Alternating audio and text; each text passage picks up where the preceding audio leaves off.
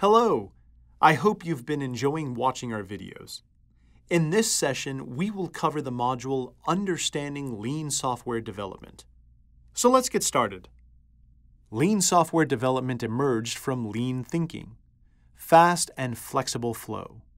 Its goal is to deliver maximum value to customers with optimum efficiency. Lean software development emphasizes speed and low cost. This can be achieved with the help of an effective team, because an effective team can create an efficient process. With constant process improvement and quality products, one can achieve high speed and low cost.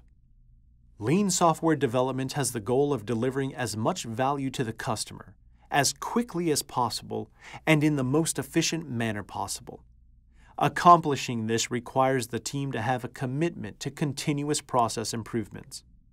This requires management to both respect and empower the people involved. Only the team can create an effective process. Management must facilitate this, not control it.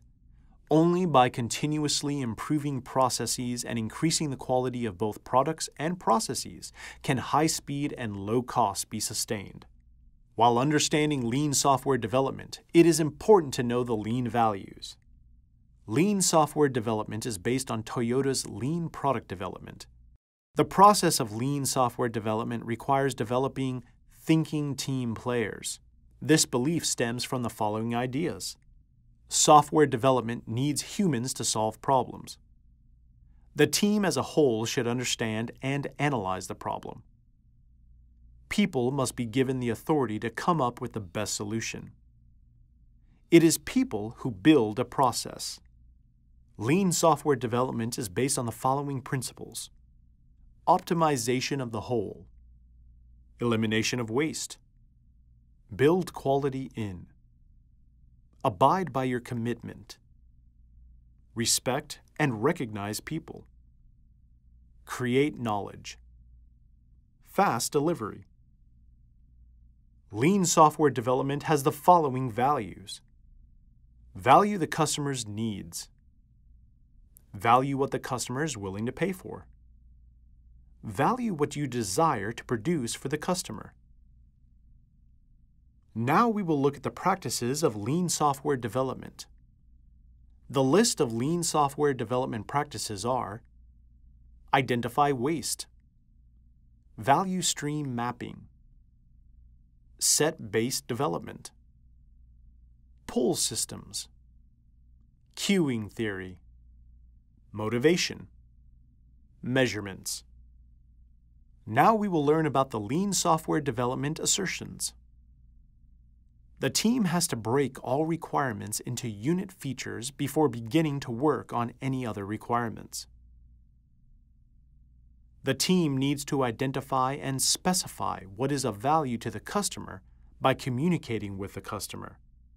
There should be no room for assumptions. Build what is necessary. If there is anything that is specified but not reasonable enough to be deployed, then remove it. Constantly monitor and limit WIP to prevent unnecessary effort. Anyone who contributes to the project is considered a team member. This may include product managers, business analysts, QA engineers, developers, and implementation managers.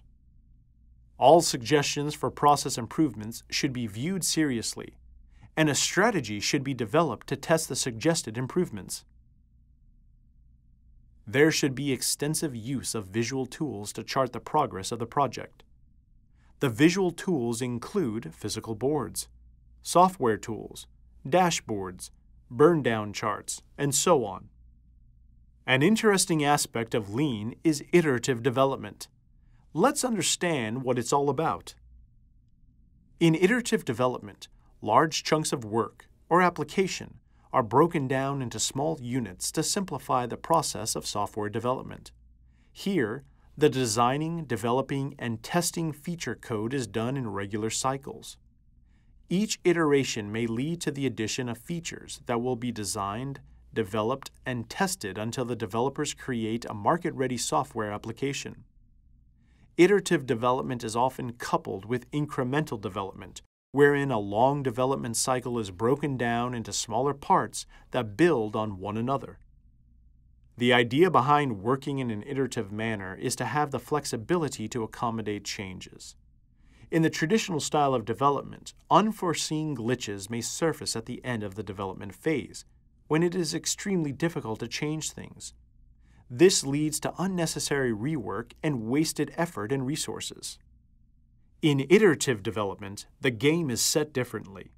The team working on a development project proceeds through a cycle in which it evaluates each application and feature with each iteration and decides on the changes that are required to create the desired end product. Let's see the key concepts of iterative development. They are as follows. Each phase is time-boxed and not functionally boxed.